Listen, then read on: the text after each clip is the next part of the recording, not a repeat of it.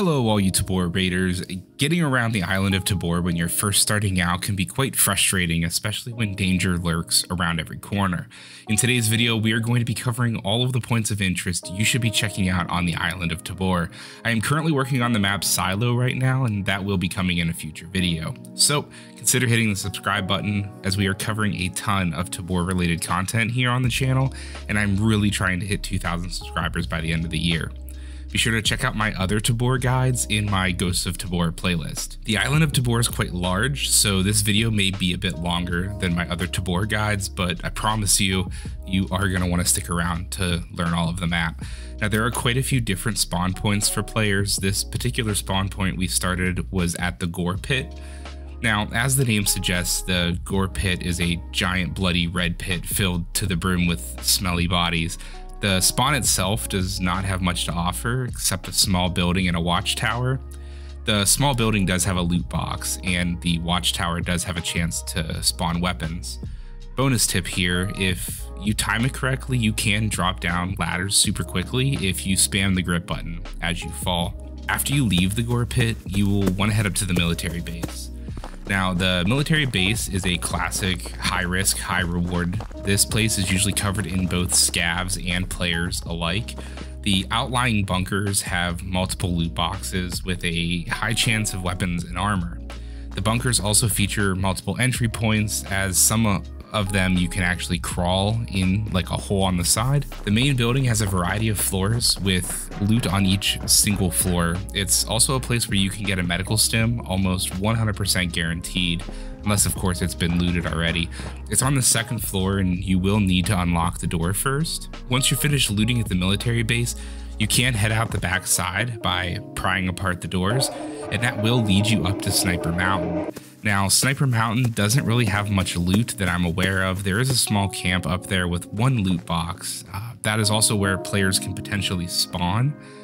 There's tons of cover and multiple vantage points up here, so as the name suggests, it is a great place to get a scope for the land. From Sniper Mountain, you can actually hit both the research building and the beach tents, depending on which way down the mountain that you go, but for the sake of this guide, we are gonna head down to the beach tents. Beach tents are one of two military tent encampments on the side of the road. It features a tower with a chance of loot, and the main tent itself with multiple small boxes and one large box that pretty often spawns body armor. Heading down the road towards the beach cottage, you will pretty often see a patrol of scavs. Taking them out, you'll eventually arrive at the beach cottage. The beach cottage is a pretty decent sized house with a lot of hit or miss loot in my opinion. You can often find food and other random junk spawn items as well as low to mid tier weapons. Behind the house players can spawn in and for some players they extract here as well making the beach cottage oftentimes a really good place to be a rat as it's a really high traffic area. Leaving the cottage and heading down the street you should start seeing the research building towering over everything. The research building is huge huge, and I could probably make a whole dedicated video just to show all of the possible loot spots within the research building.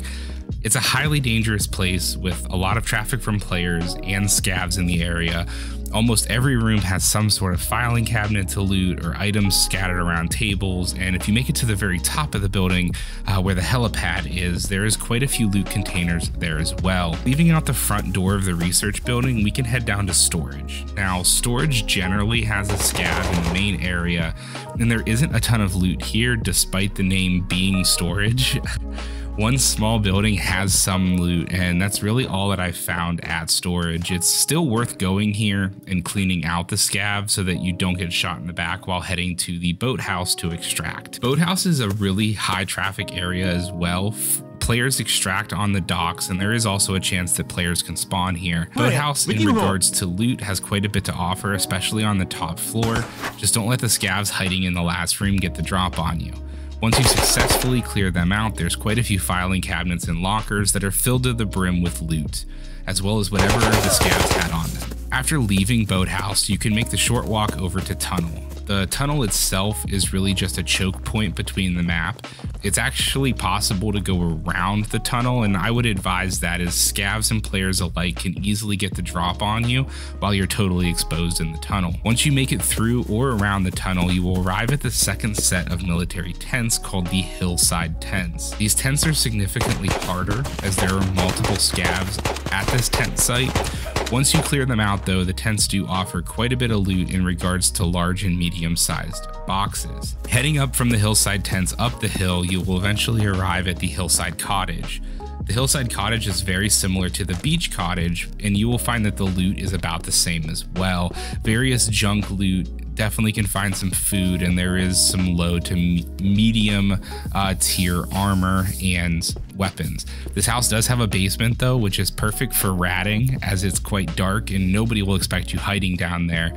This is also a player spawn and the extract is pretty close to the hillside cottage as well. Continuing up the hill, you will eventually reach the radio tower. The radio tower is another great point of interest to hit up on your raids throughout Tabor. It offers quite a bit of filing cabinets, loot boxes, and plenty of hiding and vantage points to scout the surrounding area. It's worth noting that if you did come off Sniper Mountain to the backside of the research building, you can path your way to the radio tower as well. Comment down below if you want to see a video on my typical high loot run path and the way that I traverse the island map. Lastly though, we do need to make the long journey back down the hill and head to the lighthouse. The lighthouse is pretty exposed almost the entire way, but if you do successfully make it to the lighthouse, I have noticed that there is a really decent chance for mid to high high-end weapons to spawn here pretty regularly. Towards the top of the lighthouse, there is a large container that often has body armor or backpacks and a weapon case at the very, very top. Hopefully this was helpful. It took a crazy amount of time and footage to put together. Comment down below what video you would like to see next, and I will see you all on the island.